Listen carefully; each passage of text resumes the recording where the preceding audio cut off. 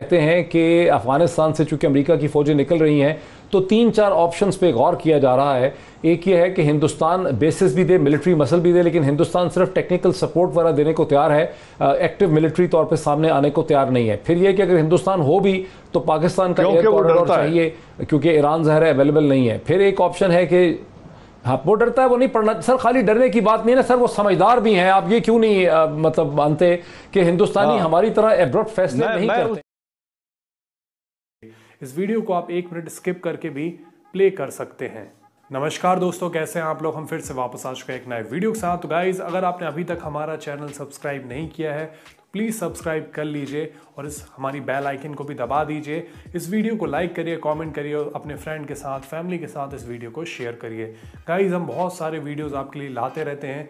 पूरे न्यूज़ से रिलेटेड जो भी वायरल मटेरियल होता है, जो भी बड़ी बड़ी डिबेट होती है, सबका हम आपके लिए प्रॉपर वीडियो लाते रहते हैं। तो आप हमारे चैनल से बने रहिए। मोस्ट लाइकली या गालिब आ गए और करदई और इनको भी जाना पड़ा अशरफ गनी को।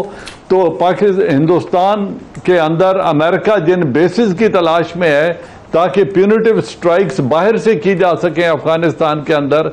मेरे ख्याल में वो सहूलतें देने के लिए हिंदुस्तान में हौसला नहीं है और ये जो हमारा हाई पावर डेलीगेशन वहाँ गया हुआ है, शायद अमेरिका और अफ़गानिस्तान मिलकर सऊदी अरेबिया मिलकर पाकिस्तान की लीडरशिप को इस बात पर कन्विंस करने की कोशिश कर रहे हूँ ये मेरा जाती एक कयास है मेरे पास इंफॉर्मेशन नहीं है कि आप उसी तरह का अच्छा, ये खाली आपका जाती ख्याल नहीं है। मुशरफ ने किया सर ये जान साहब माजत कीजिएगा ये आपका जाती ख्याल नहीं है। मैं बाज लाइफ लॉन्ग डिप्लोमेट से बात कर रहा था आज ही सफारतकारों से। वो कहते हैं कि अफ़गानिस्तान से चूँकि अमेरिका की फौजें निकल रही हैं तो तीन चार ऑप्शंस पे गौर किया जा रहा है। एक ये है कि हिंदुस्तान बेसिस भी दे मिलिट्री मसल भी दे लेकिन हिंदुस्तान सिर्फ़ टेक्निकल सपोर्ट वगैरह देने को तैयार है। एक्टिव मिलिट्री तौर पे सामने आने को तैयार नहीं है। फिर यह कि अगर हिंदुस्तान हो भी तो पाकिस्तान का एयर कॉरिडोर चाहिए क्योंकि ईरान जहर अवेलेबल नहीं है। फिर एक ऑप्शन है कि हाँ वो डरता है वो नहीं पढ़ना सर खाली डरने की बात नहीं ना सर वो समझदार भी हैं। आप ये क्यों नहीं आ, मतलब मानते कि हिंदुस्तानी हाँ। हमारी तरह एब्रोड फैसले मैं, नहीं मैं करते हमने एब्रोड फैसले किए लेकिन वो सोच समझ के फैसले करते हैं। इसलिए मुख्तसर कर रहा हूँ। देखिए ना हिंदुस्तानी अगले 50 साल का सोच के फैसला करते हैं। वो अमेरिका की खातर चीन से लड़ने नहीं लगे। हम अमेरिका की खातर जंगें भी लड़ते रहे हैं। कभी इधर चले जाते हैं कभी उधर चले जाते हैं। तो अभी एक कहानी ये भी चल रही है कि पाकिस्तान को मजबूर किया जाए कि भाई आप अफ़गानिस्तान में इस्तेमाल के लिए बेसिस दे दें स्ट्रेटेजिक सपोर्ट दें एयर कॉरिडोर दें। अगर इस किस्म का प्रेशर बिल्डअप हो रहा है तो फिर क्या करेंगे? देखिए बात बुनियादी तौर पर डॉक्टर साहब ये भी मेरे जहन अच्छा सॉरी सॉरी सर इसके लिए मैं मौजूदा बात मुकम्मल करें फिर मैं बादशाह साहब की तरफ़। कि ये उसी तरीके ये उसी तरह पार्लियामेंट के पास चली जाए, जिस तरह जिस तरह नवाज़ शरीफ हुकूमत यमन के वक्त गई थी और फैसला वो करें जो पार्लियामेंट करती है, पूरी नेशन इसको ऑन करे, ये एक तरफा फैसला ना आर्म्ड फोर्सेस का होना चाहिए, न पीटीआई का होना चाहिए, ये नेशनल डिसीज़न होना चाहिए और पार्लियामेंट के फ्लोर पे होना चाहिए। आज इससे ज़्यादा मेरे ख्याल में अभी हमारे पास वक्त नहीं है। वेरी वेरी इंटरेस्टिंग पोजीशन है बासित साहब लेकिन अगर पार्लियामेंट में लेके जाएँगे तो सऊदी अरब से ताल्लुक दोबारा खराब हो जाएँगे। मैं तो जी कतन हक में नहीं हूँ इन चीज़ों को मैं मैं कतन इन चीज़ों के हक में नहीं हूँ कि इनको पार्लियामेंट में लेकर जाना चाहिए क्योंकि फॉरेन पॉलिसी भारत हुकूमत हमारा जो रूल्स ऑफ़ बिज़नेस है जो कॉन्स्टिट्यूशन है, उसके हिसाब से हुकूमत मजाज है इस किस्म के फैसले करने की। लेकिन फैसला भारत कौमी मफादात को सामने रखते हुए करना चाहिए। जहाँ तक देखिए बेसिस की बात है ना, ये बात आपके जहन में रहे कि चाइना भी बहुत वरिड है। रशिया भी बहुत वरिड है यूएस विड्रॉल से। ये नहीं है कि वो बहुत खुश हैं इस वक्त। सबको ये एक प्रॉब्लम है अगर आप चीन को देखिए तो ईटीआईएन टी आई एन का वहाँ मसला है और उसके अलावा आप ये कह रहे हैं कि चीन वेलकम करेगा पाकिस्तान की सरजमीन पे अमरीकी बेसिस को? मेरा अपना ख्याल है कि अगर लिमिटेड रोल के साथ शायद चीन आ, उसको प्रॉब्लम तो होगा हमारे क्योंकि चीन भारत उसको ये खदशात हैं जिस तरह पहले ये सारी गुफ्तु चल रही है कि एक हमारे यहाँ एक तबका है जो चाहता है कि चीन और पाकिस्तान के दरमियान रखने पैदा करे। लेकिन चीन की जो इस वक्त सारी फोकस है अफ़गानिस्तान पे वो यही है कि किसी तरीके से कुछ एक, एक नेशनल यूनिटी गवर्नमेंट वहाँ बन जाए। लेकिन मुझे नहीं लगता कि वो मुमकिन है। इसीलिए चीन और रशिया ने तालिबान के साथ भी इंगेजमेंट रखी हुई है क्योंकि भारत जो ज़मीनी हक़ यही बताते हैं कि मारूजी जो हालात हैं कि इवेंचुअली ये मामला जंग के ज़रिए ही हल होगा। अब जहाँ तक अड्डों की बात है देखिए तुर्कमेनिस्तान एक न्यूट्रल कंट्री है जो अफ़गानिस्तान के आप नेपाल ले लीजिए ताजिकिस्तान है उज्बेकिस्तान है और ईरान है। ईरान आउट ऑफ़ क्वेश्चन है। ताजिकिस्तान उज्बेकिस्तान से रशिया नहीं देने दे रहा। सुना है कि सर रूस रूस परमिशन नहीं दे रहा। वो रशिया कोऑपरेट नहीं कर रहा सर मैंने सुना है। वो शंघाई कोऑपरेशन ऑर्गेनाइजेशन के मेंबर्स भी हैं, दोनों ताजिकिस्तान उज्बेकिस्तान उनके भी अलग मामला हैं। तो ले दे के पाकिस्तान रह जाता है, भारत कभी भी ये काम नहीं करेगा।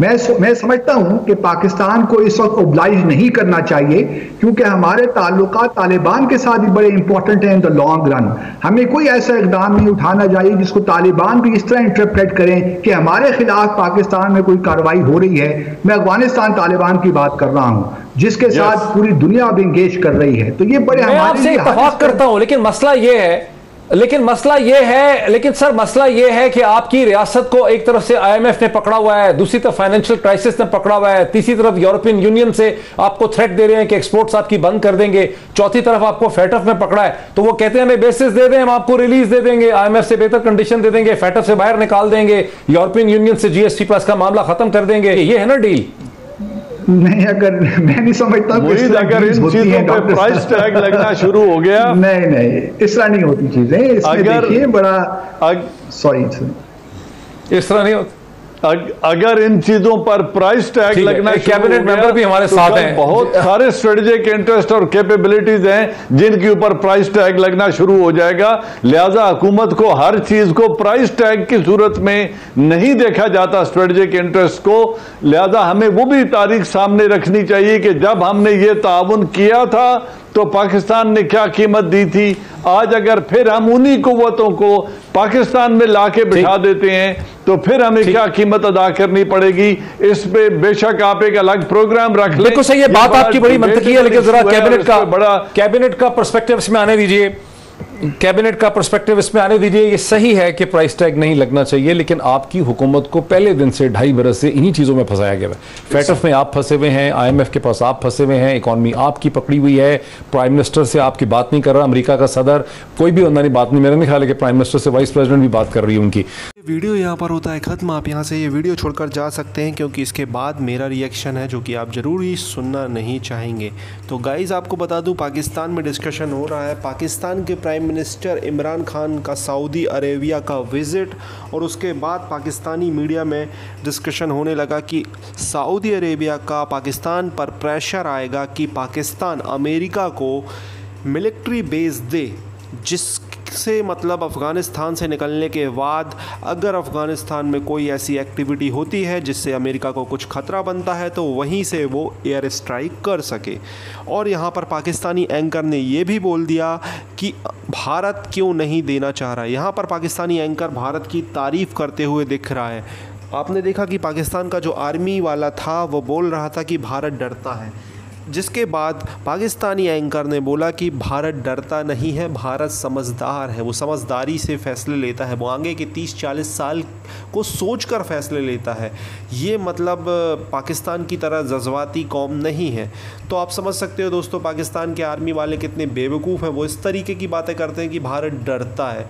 इसी वजह से ये पाकिस्तान के डेफिनेटली रिटायर विटायर फौजी होंगे। भारत से तो डेफिनेटली पिटे होंगे। और आज ये टाई और कोट पहनकर भारत डरता है। बड़ी स्टाइल से बोल रहे हैं। आपको भी पता है दोस्तों, अगर पाकिस्तान में अमेरिका ने मिलिट्री बेस लिया तो तालिबान को इनडायरेक्टली ये तो अंदेशा हो जाएगा कि पाकिस्तान तालिबान के साथ नहीं है।